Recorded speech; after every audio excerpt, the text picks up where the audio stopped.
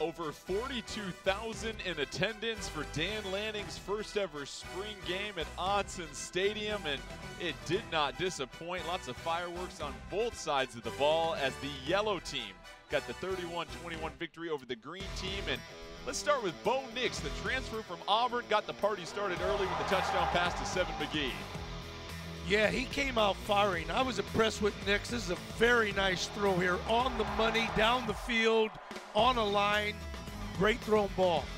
Nix finished with three touchdowns, one interception, was 8 of 15, and was able to connect with Thornton on two long touchdowns. And as Coach mentioned, the touch on the deep ball was something that really stood out with Bo Nix in this quarterback competition. He's facing off against Ty Thompson.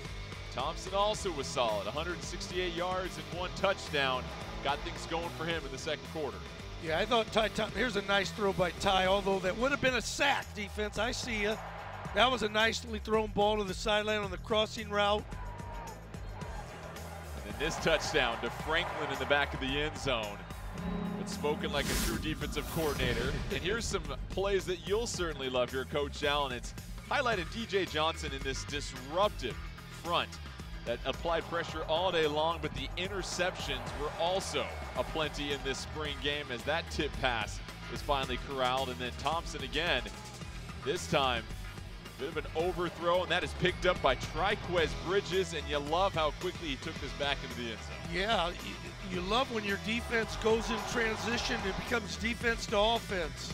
Nice play by him but it was DJ Johnson, as we mentioned earlier, that allowed those DBs to play tight man-to-man -man coverage because he was in the backfield more than most of the running backs in this spring game, and that would put a end to this spring game, one that is a salute to the service members here of the Oregon National Guard.